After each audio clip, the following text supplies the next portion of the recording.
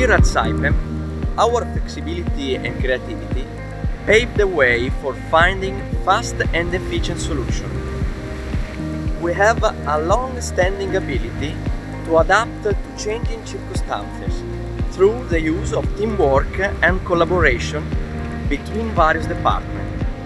The project helped our staff and Egyptian subcontractors to further develop their skill set. Zohr Project, the story of success.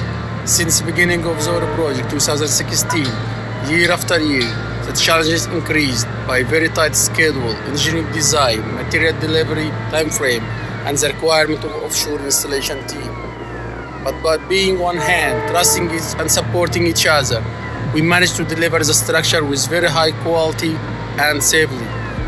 The high quality productivity that we achieved, it is a result of a commitment of excellence, intelligence, planning and focused effort that making everyone impressed. Because at Zohr we like to take care about people, that's why